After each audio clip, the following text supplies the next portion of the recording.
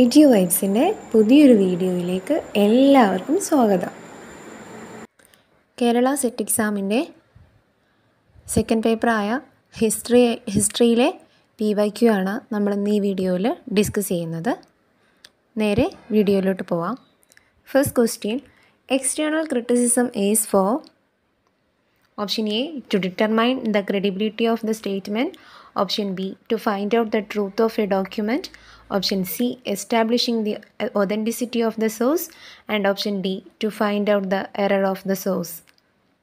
Correct option C ആണ് establishing the authenticity of the source ആണ് ശരിയായ answer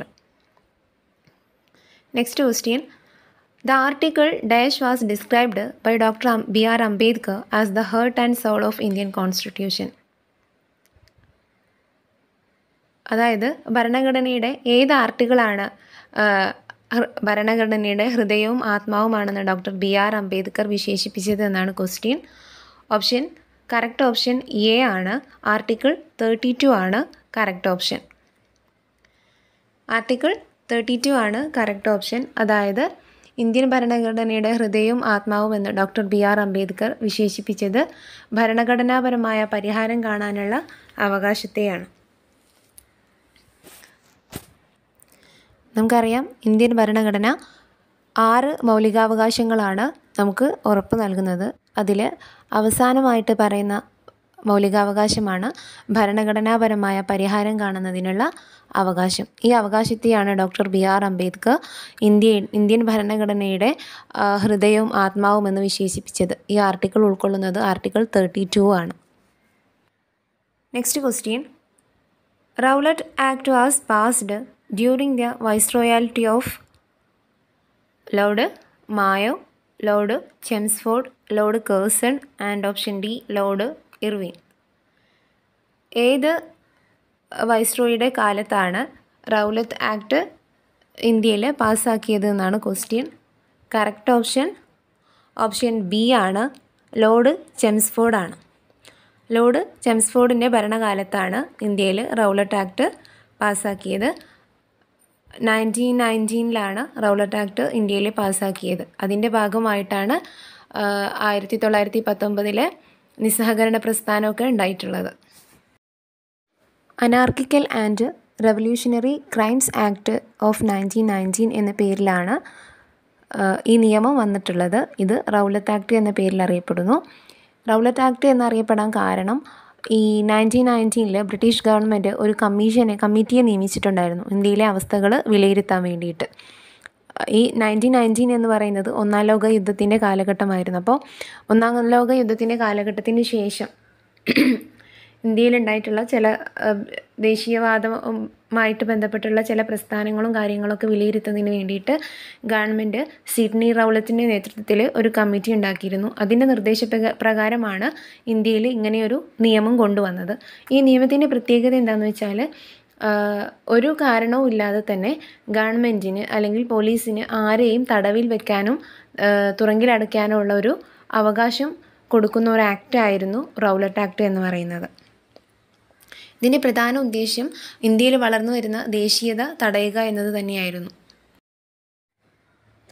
Next question the first English factory in India was build at option A Surat option B Bombay option C Calcutta and option D Madras ഇന്ത്യയിലെ ആദ്യത്തെ English factory എവിടെയാണ് സ്ഥാപിക്കപ്പെട്ടത് എന്നാണ് question correct option option A ആണ് സൂറത്താണ്. സൂറത്തിലാണ് ബ്രിട്ടീഷുകാർ ആദ്യമായിട്ട് English factory സ്ഥാപിക്കുന്നത്.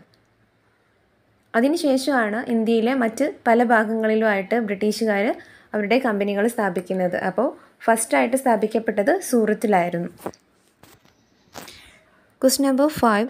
Founder of Hindustan republican party.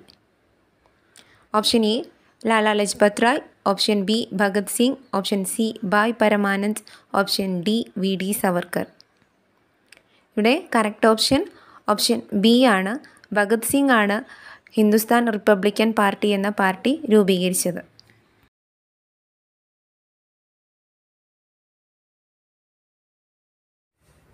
Question number six who argued that British states in India was was dominance without hegemony option A Ranajit Guha. Option B Anil Seal option C Bipin Chandra. And option D Sumit Sarkar. ഇവിടെ correct option Anil സീലാണ്. Anil സീലാണ് British states in India was dominance without hegemony എന്ന് അഭിപ്രായപ്പെട്ടത്. Anil seal ഒരു important ആയിട്ടുള്ള ഒരു Cambridge ഹിസ്റ്റോറിയനാണ് അതുപോലെ തന്നെ അദ്ദേഹം founder of Cambridge school of Indian history എന്ന പേരിലും അറിയപ്പെടുന്നു. അദ്ദേഹത്തിന്റെ കൂടെ എടുത്തു പറയേണ്ട മറ്റൊരു പേര് ജോൺ ഗല്ലാഗർ ആണ് അദ്ദേഹവും ഇവർ രണ്ടുപേരും കൂടിയാണ് ഇതിന്റെ ഫൗണ്ടേഴ്സായിട്ട് കാംബ്രിഡ്ജ് സ്കൂൾ ഓഫ് ഇന്ത്യൻ ഹിസ്റ്ററിയുടെ ഫൗണ്ടേഴ്സായിട്ട് അറിയപ്പെടുന്നത്. അതുപോലെ തന്നെ അനിൽജിയിലെ ഏറ്റവും ഇമ്പോർട്ടന്റ് ആയിട്ടുള്ള ഒരു വർക്കാണ് emergence of Indian nationalism emergence of Indian nationalism എന്ന് പറയുന്നത് അദ്ദേഹത്തിന്റെ ഏറ്റവും ഇമ്പോർട്ടന്റ് ആയിട്ടുള്ള ഒരു വർക്കാണ്. Next question The Diwani of Bengal, Bihar, Orissa was obtained by English after option A Battle of Plassey, option B Battle of Buxar, option C First Carnatic War and option D Battle of Vandivash. ഇവിടെ correct option വരുന്നത് option A ആണ് battle of Plassey ആണ് ആയിരത്തി എഴുന്നൂറ്റി അൻപത്തി ഏഴിലാണ് battle of Plassey നടക്കുന്നത് ഈ ഒരു യുദ്ധത്തോടു കൂടിയാണ് ഇന്ത്യയിൽ ബ്രിട്ടീഷുകാർക്ക് ബംഗാളിലെയും ബീഹാറിലെയും ഒറീസയിലെയും നികുതി പിരിക്കാനുള്ള അധികാരം ലഭിക്കുന്നത്. ഇന്ത്യയിൽ ബ്രിട്ടീഷുകാർക്ക് വലിയൊരു സാമ്രാജ്യം കെടു കെട്ടിപ്പടുക്കുന്നതിന് ഏറ്റവും വലിയ അടിത്തറയായതും പ്ലാസി യുദ്ധമായിരുന്നു. ആയിരത്തി എഴുന്നൂറ്റി അൻപത്തി ഏഴിലാണ് ബാറ്റിൽ ഓഫ് പ്ലാസി നടക്കുന്നത്. ശേഷം ആയിരത്തി എഴുന്നൂറ്റി അറുപത്തി നാലിൽ നടന്ന മറ്റൊരു യുദ്ധമാണ് battle of Buxar next question United Nation Organization came into existence in option A November 21st 1948 option B January 27 1946 option C December 10 1945 and option D 24 1945 October ഇവിടെ correct option twenty four October nineteen forty five ആണ് Twenty four October nineteen forty ഫൈവിലാണ് U N O സ്ഥാപിക്കപ്പെട്ടത്.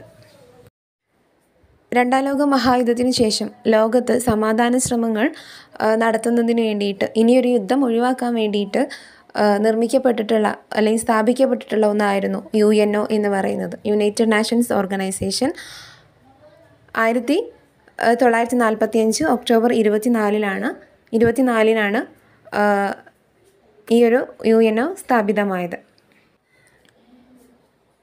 Quest number nine Turkish capture of Constantinople occurred in option A fourteen fifty three option B fifteen forty seven option C thirteen seventy six and option D five hundred and four one ഇവിടെ correct option option A ആണ് fourteen fifty three ആണ്. ആയിരത്തി നാനൂറ്റി അൻപത്തി മൂന്നിലാണ് തുർക്കി Constantinople കീഴടക്കുന്നത്. മധ്യകാല India ചരിത്രത്തിൽ sorry മധ്യകാല വേൾഡിന്റെ ചരിത്രം പറയുമ്പോൾ ഏറ്റവും ഇമ്പോർട്ടന്റ് ആയിട്ടുള്ള ഒന്നാണ് ആയിരത്തി നാനൂറ്റി അൻപത്തി മൂന്നിലെ കോൺസ്റ്റാന്റിനോപ്പിളിന്റെ പതനം. ബൈസാന്റൈൻ സാമ്രാജ്യത്തിന്റെ തലസ്ഥാനമായിരുന്നു കോൺസ്റ്റാന്റിനോപ്പിൾ. ആയിരത്തി നാനൂറ്റി അൻപത്തി മൂന്ന് മെയ് ഇരുപത്തൊന്ന് ഒമ്പതിനാണ് തുർക്കി സാമ്രാജ്യം കോൺസ്റ്റാന്റിനോപ്പിൾ കീഴടക്കുന്നത്.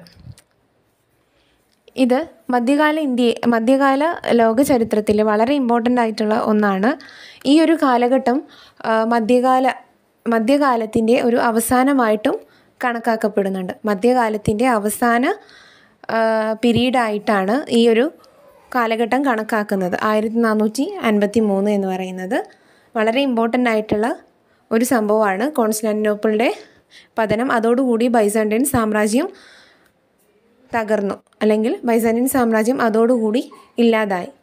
പിന്നീട് ഇത് തുർക്കി സാമ്രാജ്യത്തോടുകൂടി ചേർക്കപ്പെടുകയും അവരുടെ തലസ്ഥാനമായിട്ട് പിന്നീട് കോൺസ്റ്റാന്റിനോപ്പിൾ മാറുകയും ചെയ്തു. Tenth question. Which one of the following was not a permanent member of U N security council? Option A China option B U S S R option C France and option D Japan. ഇവിടെ U N security കൗൺസിലിലെ permanent member അല്ലാത്തത് ആരെന്നാണ് ചോദിച്ചിട്ടുള്ളത്?